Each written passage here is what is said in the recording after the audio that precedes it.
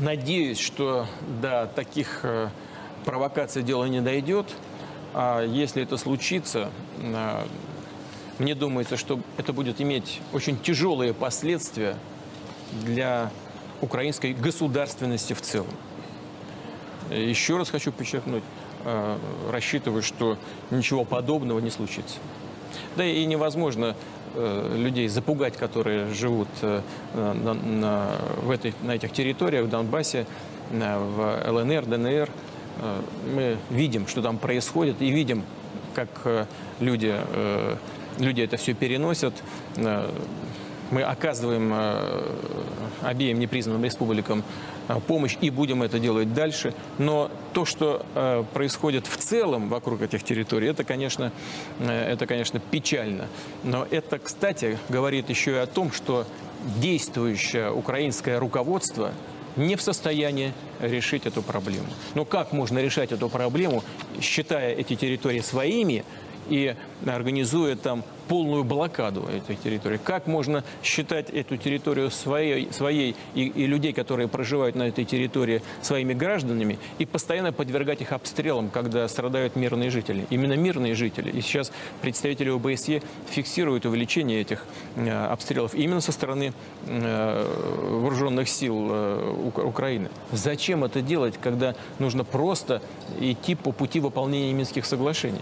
Это просто нелепо с точки зрения реализации конечного результата, э, восстановления территориальной целостности страны. Чем дольше и чем дальше это происходит, тем хуже для, э, для Украины. Ну, смотрите, на, на Украине. Четвертый год. Значит, одна революция, четырнадцатый год, другая революция, э, переворот государственный. Результат.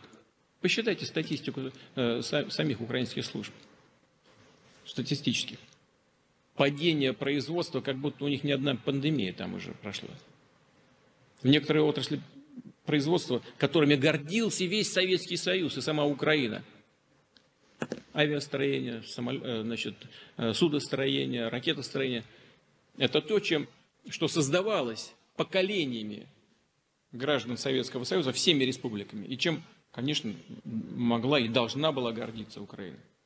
Этого почти ничего не существует происходит э, деиндустриализация Украины. Она была, наверное, не одной из, а может быть даже самой индустриальной республикой. Ну, Российская Федерация, конечно, Москва, Петербург, Сибирь, там, Урал, все понятно. Но одной из самых индустриальных республик. Где это все теперь?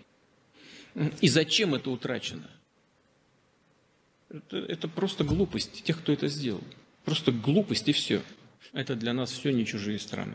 Это не чужие где-то там за морями государства, о которых мы мало чего знаем. Очевидно, мы жили в рамках единой страны э, не просто многие годы, столетиями жили в рамках общей страны. У нас колоссальные связи, э, у нас э, очень глубокая кооперация в экономике, гуманитарные связи. Мы все говорим на одном языке. В той или ином в том э, или ином смысле, э, с большей или меньшей э, степенью. Но мы, по сути, все люди одного культурного пространства. Я уже не говорю об истории. У нас общая история. Общая победа над нацизмом. Наши, наши предки, наши отцы, наши деды кровью своей скрепили наши особые отношения. И чего бы ни происходило сегодня, как бы ни складывалось конъюнктура политическая на данный момент времени, я уверен, что вот эта э, общность интересов, она в конечном итоге пробьет путь к нашему, э, к возрождению наших отношений со всеми странами, как бы тяжело не складывались с ними отношения. В то же время, э, и это тоже очевидная вещь, когда дело дошло до распада нашего общего государства, до СССР, те люди, которые занимались этим не подумали, но должны были подумать, каким геополитическим последствиям это приведет. Но было очевидно, что соседи, у соседей всегда не только совпадающие есть интересы, но и э, есть разница интересов. И перетягивание каната тоже всегда возможно. Мне думается, что мы, тем не менее, можем, должны и обязательно найдем все э, решения для сложных вопросов. Надо, не надо только ничего нагнетать, преувеличивать и делать упор на те вопросы, которые являются спорными, а нужно наоборот смотреть на то, что нас может и должно объединять. И объединяет. А что? Общий интерес. Вот смотрите, в области экономической интеграции кто не заинтересован в том, чтобы мы экономически интегрировались? Только наши конкуренты.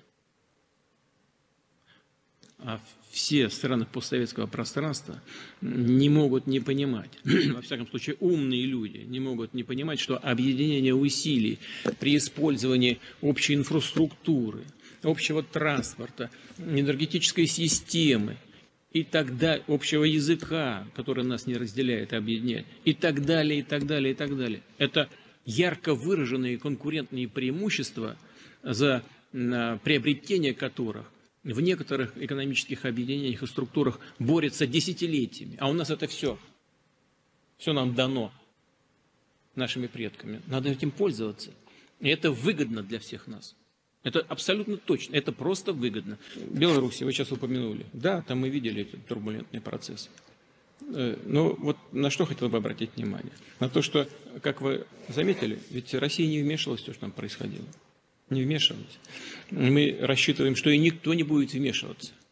Никто не будет раскручивать э, в своих интересах э, этот конфликт и, и навязывать какие-то решения белорусскому народу я уже говорил в вступительном слове, ничего привнесенное извне внутри той или иной структуры, того или иного народа, того или иного этноса работать не будет без э, учета специфики, культуры, э, истории народа и так далее. Поэтому нужно дать э, возможность самим белорусам спокойно разобраться со всей ситуацией, принять соответствующие решения, в том числе и может быть, э, эти решения лежат на пути принятия поправок в действующую Конституцию, либо принятия новой Конституции. Президент Лукашенко об этом сказал публично. Да, можно сказать, ну, сейчас он там что-нибудь напишет себе на, на пользу, и, э, все это ничего не имеет общего с демократией. Но, вы знаете, все можно ведь э, оболгать. На все можно посмотреть скептически. Я уже вот говорил, ну, э, ну ладно, не буду уже, так чтобы не вдаваться в детали. Но то, что происходило в Беларуси, э, выгодно отличается от того, что происходило на улицах некоторых крупных городов э, развитых демократий. Понимаете? Да, и жесткость была, и все. А может быть, даже не оправданная. Ну, тогда пусть ответят те, кто это допустил. Но в целом, если сравнивать и посмотреть на картинки, во всяком случае, безоружному человеку в спину никто не стрелял из боевого оружия. Э, вот, вот я о чем. Поэтому давайте спо- спокойненько с этим нужно разбираться. Я уже много раз говорил своим коллегам, вот а, ко всем нашим постсоветским странам нужно относиться с особым вниманием и очень осторожно поддерживать вот эти ростки государственности. Ни в коем случае, случае не вмешиваться со стороны. С какими-то советами и с э, рекомендациями, а тем более с, э,